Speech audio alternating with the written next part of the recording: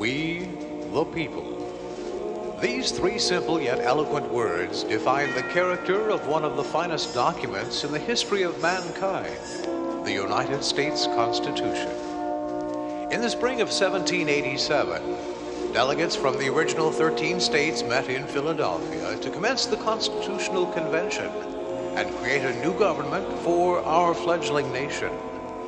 After many debates and much compromise, the Constitution was signed on 17 September 1787. Thus began two centuries of unparalleled progress, made possible by the courage and indomitable spirit of the American people. It is to these people we dedicate this music and verse.